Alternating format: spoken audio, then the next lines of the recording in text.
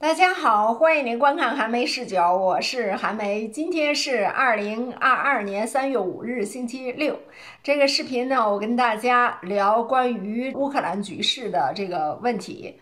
首先呢，来说一下，在今天的时候呢，美国的国务卿布林肯要求和王毅通电话，那王毅呢同意了。今天在外交部的网站上就发布了这个新闻稿。这个新闻稿呢是在当地时间晚上十点发布的，所以呢这事儿是刚刚发生的。新闻稿是这么说的：二零二二年三月五日，国务委员兼外长王毅应约同美国国务卿布林肯通电话。王毅表示说，当前中美关系最重要的仍然是推进和落实两国元首视频会晤的共识。美方近期一些言行与上述的目标是背道而驰的，中方表示严重的关切。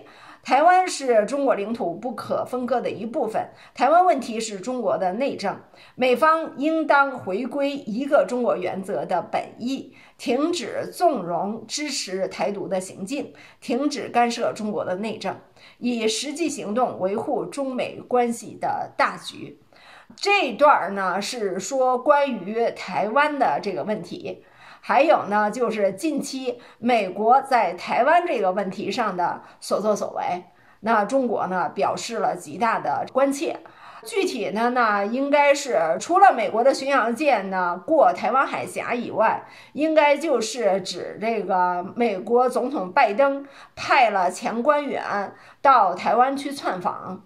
至于说蓬佩奥和余茂春到台湾去窜访呢，应该说那个事儿和拜登没有什么关系，起码没有直接的关系，对吧？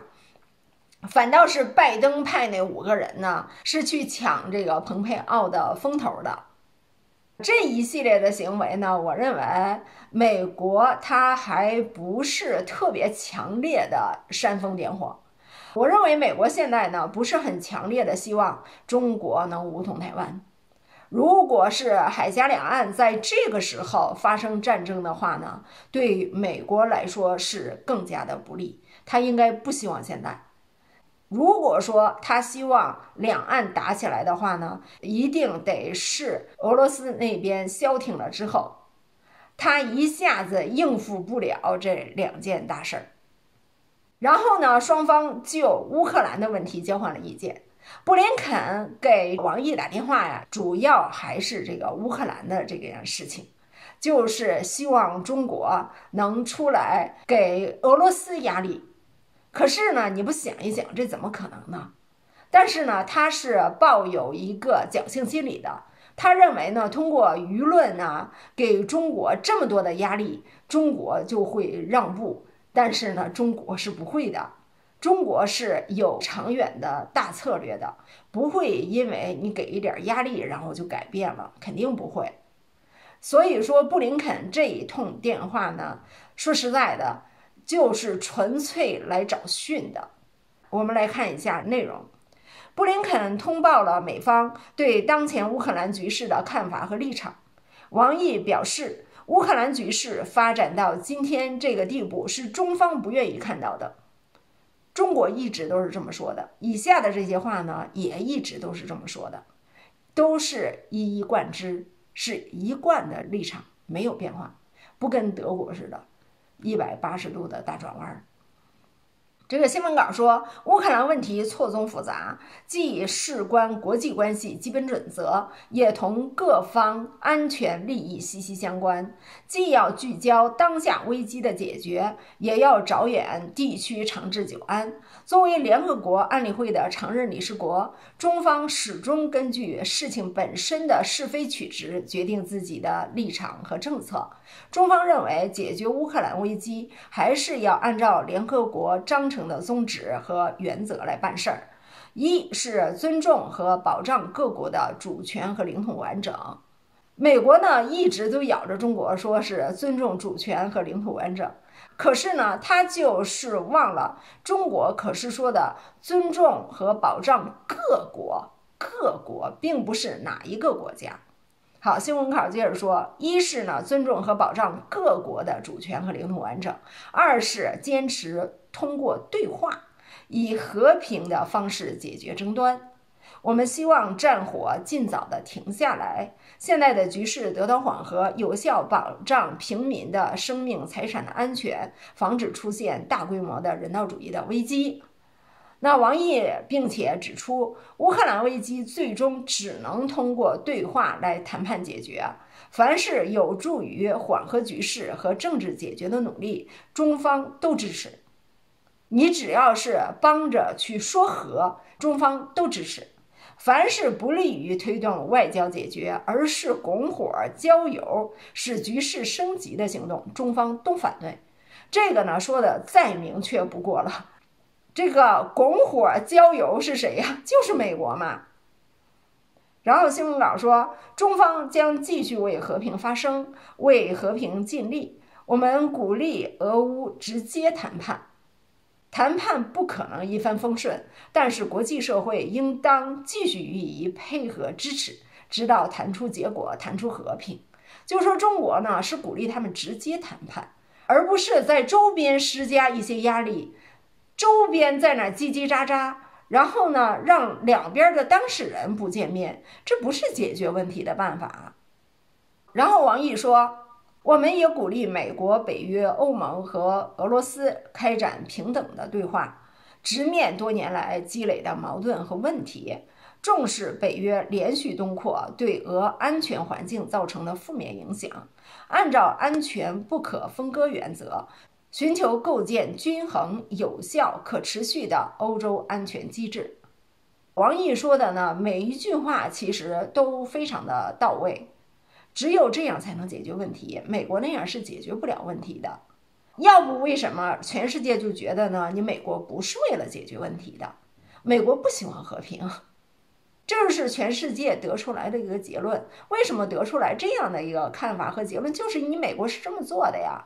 别人又不是傻子，只有像中国这么做，才是一个希望和平的，才能达到和平。你双边如果不坐下来的话，你怎么解决呢？再有是这种和平解决、谈判解决，它不是一朝一夕的事儿，不是一次两次就能够解决问题的，它肯定是一个长远的一个事儿。但是很明显呢，美国就在背后呢破坏这和谈。俄罗斯在昨天的时候明确指出来。说你美国是在破坏和谈。说到这儿呢，我想跟大家报告一个，今天有一个特别重大的消息。我知道昨天呢有一个消息说泽连斯基啊已经跑了，这个消息挺震撼的。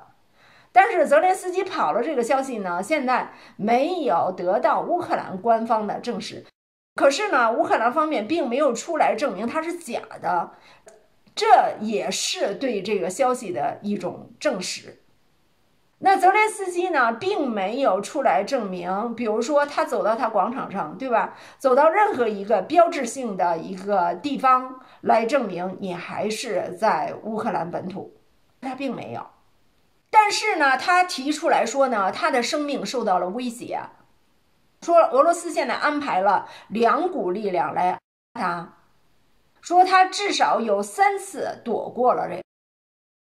第一股力量呢，说是俄罗斯叫瓦格纳集团雇佣兵来试图要，说至少有两次想要，还有一次就是车臣的武装组织说是要，那这三次都是因为俄罗斯他们内部的人员。因为看不过眼儿，向泽连斯基透露了消息，让他躲过了这个事情呢。之前我是看到了车臣方面他们的那个总统啊，现在叫领导人对吧？他们那个领导人呢，他就说了，他主动请缨，说是如果说普京一声令下，他就可以率领车臣的武装到这个乌克兰，把乌克兰拿下。他话说的确实是挺大，之后呢，就传出来说，乌克兰把他派去的这些车臣的武装力量的首脑大将，说大将不是指他的军衔啊，就是最高指挥官，说是一下子就给他毙命了。但是车臣的总统呢，就说说没有，他们确实是损失了一些士兵，但是他那个大将并没有，但是他也没有让他的大将出来走两步什么的。有一些东西呢，确实难以确定，我们只能是来分析一下。还有呢，泽连斯基就是说呢，都是被俄罗斯方面内部的人看不过眼儿，给他报消息，所以呢，他对俄罗斯，他知道的是一清二楚。这个呢，我表示有点不相信。乌克兰的这个情报呢，应该没有这么厉害，因为之前的时候，十六号之前，美国就老是说俄罗斯要来入侵，说十六号要来入侵。乌克兰一直都说没有，一直都说没有，对不对？现在呢，美国就是说，你看怎么样？现在入侵了吧？现在这个俄罗斯的军事行动呢，它不代表着美国之前所说十六号入侵的那个呢就对了，不代表就对了。但是如果说美国得不到情报，那乌克兰更得不到情报。所以说，乌克兰的这个总统说的这些话啊，我认为都是吹牛。再加上乌克兰就之前老吹牛，老吹牛，吹很多牛。那今天呢，又有一个消息出来，就是在二十八号参加第一次谈判的有一个谈判人员，那个谈判人员据说是一个银行家。今天的时候。据乌克兰的一个知名的政客，这个政客呢，曾经还是泽连斯基的一个亲密战友。据他说，那个第一轮谈判的那个银行家在乌克兰基辅的街头被人是，请注意，这说明什么呀？就说明是有人反对这个谈判的。之前我就说，乌克兰它内部一定是有人反对谈判的，所以乌克兰这个总统啊，他本身他很危险的，他很危险，因为他非常的坚决，他破坏和谈，坚决和俄罗斯的这种对立立场，俄罗斯有可能不容他，如果说他妥协。那美国西方不容他，还有呢，就是他乌克兰的那些极端组织、极端势力呢，不会容他，所以他左右为难。无论他怎么样，他都非常的危险。所以我觉得他跑掉了这件事情呢，他比较符合常理。而且呢，今天果真是去参与谈判的这个人员都被你想想看。对不对？参与谈判的人都招恨，你这个指派人员去谈判的总统，他能不招恨吗？所以说，泽连斯基啊，现在他很有可能，他确确实实是跑到了波兰、美国的大使馆，只有跑到那儿能够对他进行保护。而且对于美国来说，他们也希望把这个泽连斯基给他保护起来，这是他们的一个傀儡啊。他就让乌克兰，他永远都不可能让俄罗斯全盘控制，因为他们这儿还有一个总统呢。然后我们再来说一下现在乌克兰的这个战事是怎么样的。今天我就看到有一个消息呢，俄罗斯那边有说。乌克兰已经超过了这个静默期限，所以说呢又恢复攻击。那今天我们就看到，之前的时候不是赫尔松那个城市已经被俄罗斯的军队拿下了，之后呢俄罗斯的军队就去包围了马里乌波尔嘛。那三月四号的时候呢，就有一个消息，这个消息呢是一个确切的消息，就是乌克兰的军队对驻扎在马里乌波尔的那个亚速营的武装力量进行了炮轰，进行了炮击，等于说他们就发生了内讧。它这个内讧呢，其实也是很自然的一件事情。之前呢，我跟大家说过，就是乌克兰它存在着两种武装力量，一种呢就是国防部能够指挥的那个正规军队——乌克兰政府军。那第二种呢，现在他们说呢，这也是政府军，但是呢，它之前的时候就属于那种民间组织，它叫亚速营。亚速营在很长的一段时间里面被指控是纳粹组织，非常极端，是纳粹王。他们很多的东西呢，都指向他们就是纳粹。这个亚速营呢，据说哈，它的背后是有美国支持的。美国的 CIA 呢，对他们也进行指导啊、训练啊什么的。他们就在全世界现在就是很活跃。包括前一阵子加拿大的副总理参加他们一个活动，乌克兰人的一个活动，不小心，结果呢发的照片里面，他拉的那个横幅，那就是纳粹组织的那个横幅，是他们的一个标志。后来呢，加拿大的副总理赶紧把那个照片就撤下来了。现在呢就不知道加拿大副总理呢，他是因为不知道，是因为愚蠢啊。就拍了那么一个照片呢，还是说呢，他并不是上了他们的当，而是他什么都知道。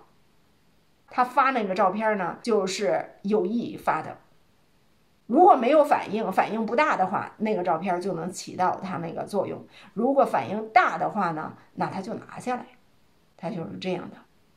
那就是说，乌克兰的政府军就对驻扎在马里乌波尔这个城里面的亚速营的武装力量呢进行了这个炮轰。他这个武装部队为什么对他们进行炮轰？现在说法不一，有的说呢，这就是乌克兰政府下令的，要对他们这些人呢进行什么杀人灭口啊，消除证据啊。以防俄罗斯如果攻进去的话呢？因为这些人这些极端组织是纳粹组织，而且这个亚速营啊，在二零一四年以后就被乌克兰纳入了他们的政府军正规的武装力量了。只不过呢，它不归国防部管，是归内政部管。这就是为什么我们老是看到有关战事的这个发言，经常见到内政部这个部长出来发言。就是因为他这个亚速营啊被纳入了正规的政府军，是归内政部管的。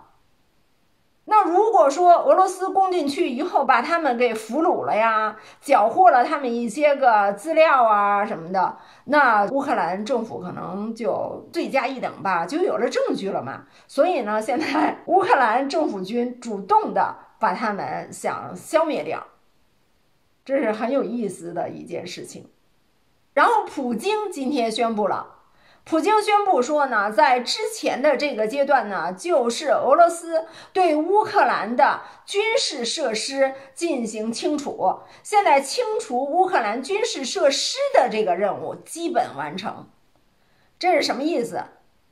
就是清除军事设施的任务完成之后，是不是就该大规模的地面部队进入了？那接下来的话呢，恐怕战事可能是推进的速度就会快了。但是双方已经是约定，本来说是这个周末要进行第三轮的和谈，那今天星期六在他们当地已经过去了，星期六等于说就没和谈，星期日呢也没有确定。